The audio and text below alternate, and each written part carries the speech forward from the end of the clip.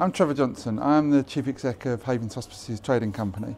You might remember that last year I did a short video about the Hospice Shop Challenge for Hospice UK. Um, and to be honest, I and Hospice UK were overwhelmed by the response.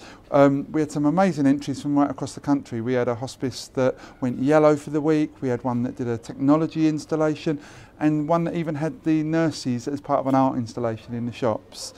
Um, and this year we want to see even more entries for the 2018 challenge and even more imagination.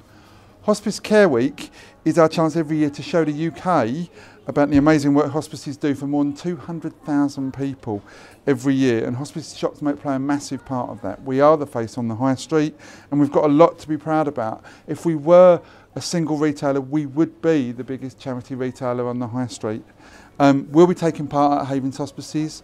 Um, I hope you do too. Visit the Hospice UK website for more details and I hope to see some amazing entries.